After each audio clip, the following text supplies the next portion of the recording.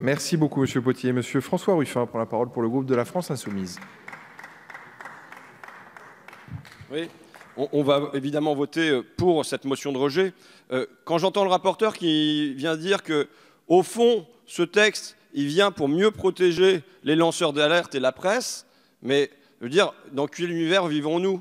Quel est euh, ce goût du sophisme qu'a la majorité pour venir nous expliquer ça. Mais à quel point on a dans ce pays alors des, des dizaines, des centaines de journalistes, de sociétés de journalistes, de syndicats, on a des associations, on a tous ces gens-là qui ne savent pas lire qui savent pas lire un texte, qui comprennent rien, qui voient pas le, fossé qu'il peut y avoir entre ce que vous venez raconter ici, les armes qui sont déjà au service des Bolloré et compagnie, ce qu'ils ont à subir tous les jours et le texte supplémentaire que vous rajoutez. Mais ils le savent ça, ils voient bien la différence entre les mots que vous prononcez ici et la vie qu'ils ont à vivre quand ils, décident de jouer leur fonction, leur rôle démocratique sur ce point-là.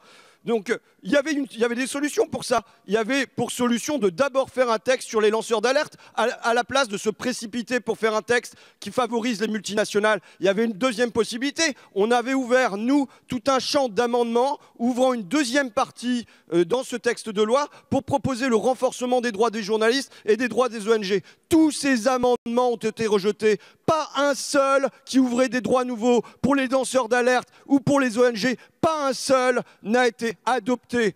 Et pour terminer, j'entends ici qu'on me parle de lobby. D'ailleurs, euh, ce sont les mêmes.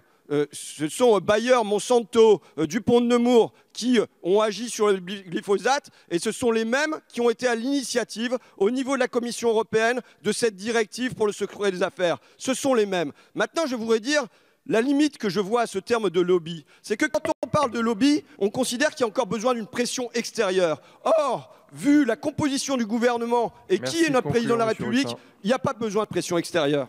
Merci beaucoup, Monsieur Ruffin. La parole est à Monsieur